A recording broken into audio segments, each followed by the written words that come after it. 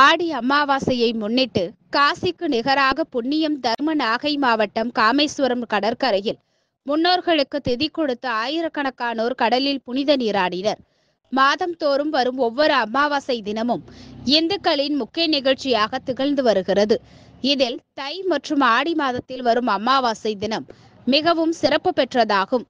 ஆடி அமாவாசையில் விரதம் இருந்து மூதாதையர்களுக்கு தர்ப்பணம் செய்தால் அனைத்து ஆசிகளும் கிடைக்கும் என்பது இந்துக்களின் நம்பிக்கையாகும்.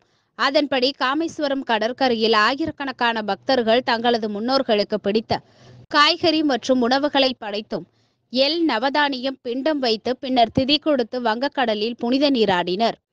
ஒவ்வொரு ஆண்டும் அமாவாசை தினத்தில் காமேஸ்வரம் கடலில் புனித நீராட அதிக அளவு பக்தர்கள் வருவதால் பக்தர்களின் பாதுகாப்பு கருதி அங்கு மாவட்ட காவல்துறை தீயணைப்புத்துறை கடலோர பாதுகாப்பு குழும போலீசார் மற்றும் காமேஸ்வரம் மீனவ கிராமம் சார்பில் பாதுகாப்பு ஏற்பாடுகள் விரிவாக செய்யப்பட்டிருந்தன. இதேபோல் நாகப்பட்டினம் வேதாரண்யம் கடற்கரையில் பொதுமக்கள் தர்ப்பணம் கொடுத்து முடிந்த நீராடினர். அனைத்தும்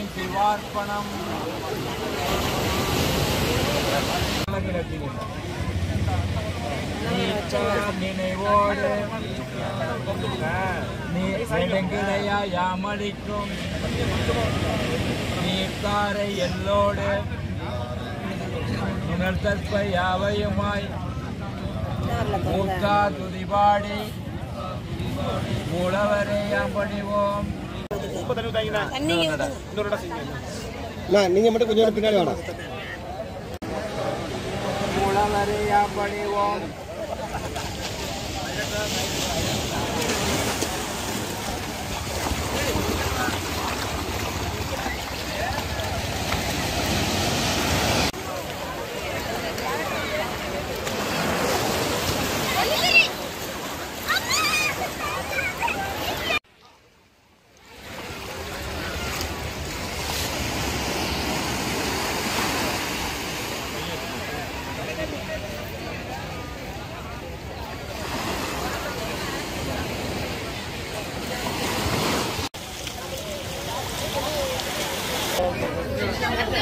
வேண்டாம். அதான் கரெக்டாக இருக்கும்.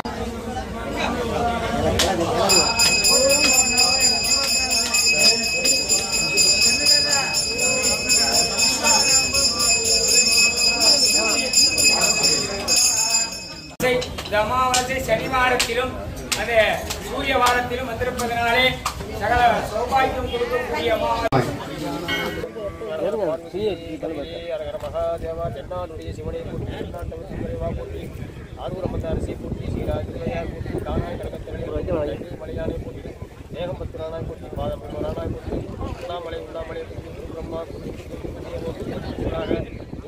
பரபிரம்மா தசேஷி போற்றி ஓம் சிவா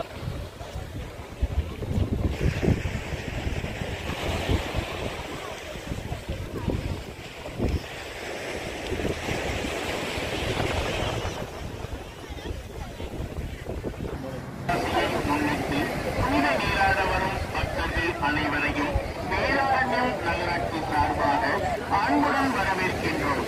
கடற்கரை சில நேரம் கேட்டுக்கொள்கின்றோம். சார்பாக அன்புடன் வரவேற்கின்றோம். கடற்கரை சில நிறைந்த பகுதியாக உள்ளதால் பக்தர்கள் பக்தர்கள் பழைய துணிகளை ஆங்காங்கே விட்டு செல்லாமல் அதற்காக அமைக்கப்பட்ட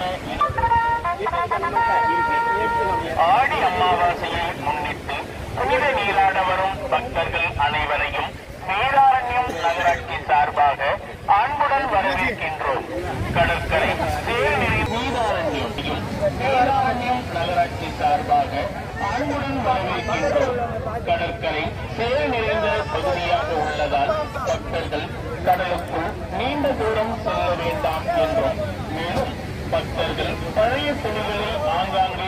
செல்லாமல் அதற்காக அமைக்கப்பட்ட இடத்தில் விட்டு செல்லுமாறும்.